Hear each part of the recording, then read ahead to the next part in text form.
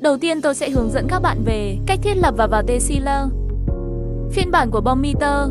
Lúc đầu, bạn cần có tài khoản Metamask kết nối với các bài kiểm tra. Như thế này nếu bạn không biết cách thiết lập. Vào bài viết này và đọc tất cả thông tin. Bạn có thể biết tất cả về cách thiết lập. Kết nối tài khoản hàng loạt đã tạo của bạn để mua. Nhiều thử nghiệm này, đây là những thông tin. Tôi sẽ đặt liên kết trong phần mô tả. Và sau đó bạn sẽ cần phải có một số xét nghiệm BB để cho các giao dịch trong các phiên bản thử nghiệm. Bạn có thể đi đến quy trình đối sánh tài chính và thực hiện một số nhiệm vụ xã hội để chứng minh bạn không phải là người máy. Và sau đó bao gồm địa chỉ đối sánh tài chính của bạn và nhấp vào cho tôi BNB. Và nó sẽ gửi BB được kiểm tra tự động đến. Tài khoản vâng. Tôi đã có BB ngay bây giờ và điều tiếp theo bạn cần làm là đi đến thông báo đánh bom khiến họ. Và đến bài đăng này, nó sẽ xảy ra với các liên kết ở đây. Tôi sẽ đặt liên kết của bài viết trong mô tả. Vì vậy bạn có thể cần phải kiểm tra nó. Vì vậy điều tiếp theo bạn nên làm là thiết lập một tài khoản để tham gia vào những người thử nghiệm. Vì vậy bạn đi đến thị trường làm bằng các phiên bản Tesiloum. Vì vậy bạn nên đặt chúng trong tài khoản, ví dụ như, điều này. Vì vậy đây là bài kiểm tra BCC của bạn. Nhấn vào nhập tên của bạn. Ví dụ như vậy. Đọc và nhập mật khẩu của bạn và nhấp vào đăng ký. Nó sẽ tự động thêm vào. Và sau đó điều tiếp theo bạn nên làm là kết nối. Xảy ra các bài kiểm tra MTB để mua một số anh hùng. Mở hộp để nó siêu dễ dàng. Bạn đi đến vòi nước và đi trên MTB. Vâng, nó sẽ yêu cầu xác nhận giao dịch. Đó là lý do tại sao bạn sẽ cần phải kiểm tra BNB. Và bây giờ bạn có thể thấy tôi có MTB ngay tại đó. Và bây giờ bạn có thể mua một số hộp anh hùng. Và mở một số anh hùng, hãy đi đến điều này và phê, duyệt NTB. Và bạn có thể điều chỉnh số lượng anh hùng bạn muốn. Tôi khuyên bạn nên thích khoảng 5 anh hùng hoặc nhấp vào đây.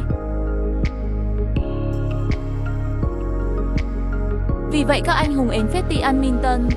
Vì vậy chúng ta hãy đợi họ đi đến kho tài khoản. Và đây là tất cả năm anh hùng Enfetti của tôi.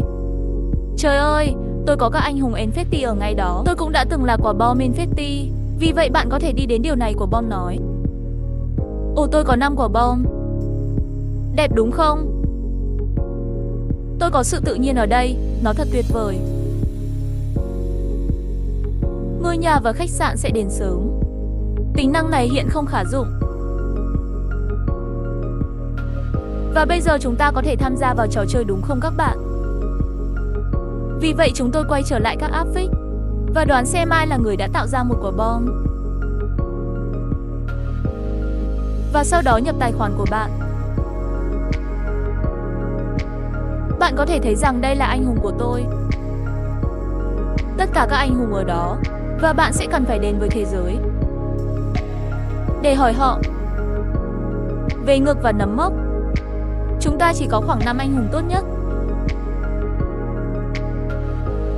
Vì vậy bạn cần kích hoạt khoảng 5 anh hùng. Và nếu họ bị đánh bom, bạn có thể trang bị cho các anh hùng những chiếc máy bay ném bom hoặc để trang bị cho họ. Và sau đó đến trang trại ngực này. Họ cũng là đấu trường tuyệt vời nhất. Điều đó thực sự tuyệt vời. Nhưng tính năng này không có sẵn trong TC nên. Này, chúng ta sẽ có cơ hội nhìn thấy nó trong nhiều phiên bản. Vậy về tổ thử nghiệm, hãy vào trong ngực ấm áp phải không? Vì vậy ngay đây là toàn bộ các trận đấu.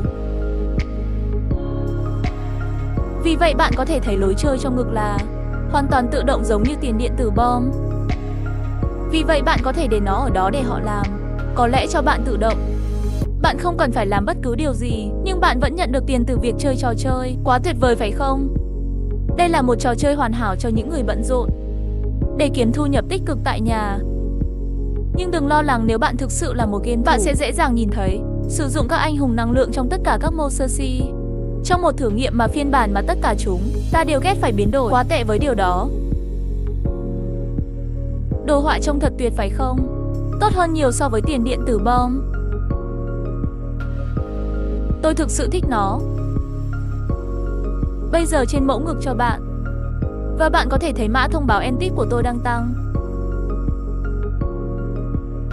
Rất nhiều thực thể và bạn có thể để nó ở đó quá dễ dàng. Và vâng là một số tác phẩm khác hoặc chơi một số trò chơi khác. Và sau đó nếu bạn nghĩ rằng bạn có đủ mức và hoặc có thể anh hùng của bạn là nguồn. Bạn có thể thoát khỏi trò chơi và vâng. Chỉ cần bắt đầu ngay lập tức và mức vẫn ở đó. Hẹn gặp bạn ở và đó. Và sau đó đặt nó ở trạng thái nghỉ ngơi để phục hồi năng lượng. Và sau đó chúng ta hãy lấy cái khác. Sau đó làm lại mọi lúc. Thực sự tuyệt vời phải không?